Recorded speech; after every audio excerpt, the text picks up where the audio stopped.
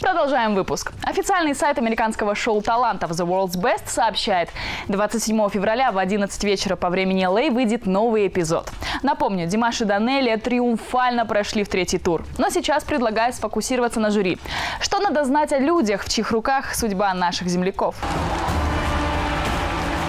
Дрю самая впечатлительная из тройки судей. Это сейчас Берримор в образе эдакой опытной доброй тетеньки. А когда-то она была неудержимой бунтаркой. Уже в подростковом возрасте баловство алкоголем и наркотиками довели ее до рехаба. Расцвет актерской карьеры был в конце 90-х, начале нулевых. На ее счету такие яркие проекты, как «Ангелы Чарли», «Ядовитый плющ», «50 первых поцелуев» и другие. Да.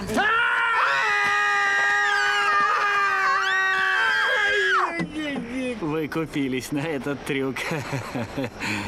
Мой дед умер, заводя так двигатель. В 2000-х Дрю входила в список 100 самых красивых людей. Сейчас у актрисы контракт с Netflix и главная роль в многосерийке «Диета из Санта-Клариты».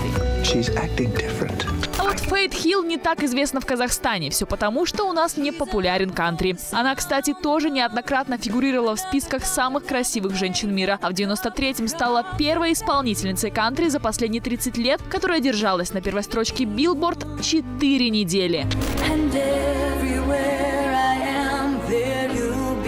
Вершины чартов покорялись ей неоднократно, а еще вы наверняка слышали ее проникновенный саундтрек к фильму «Перл Харбор».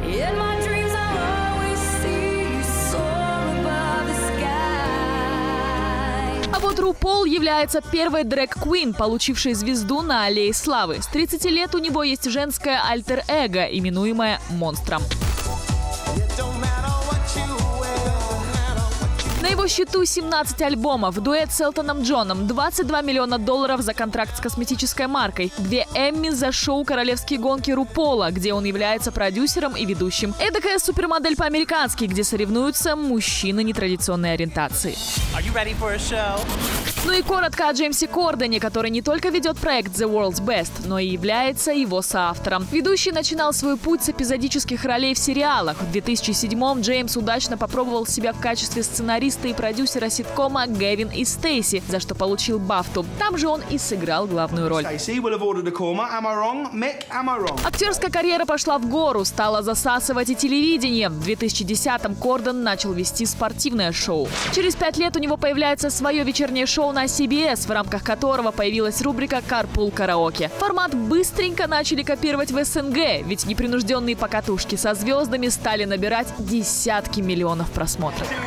Expensive, these is red bottoms, these is blood.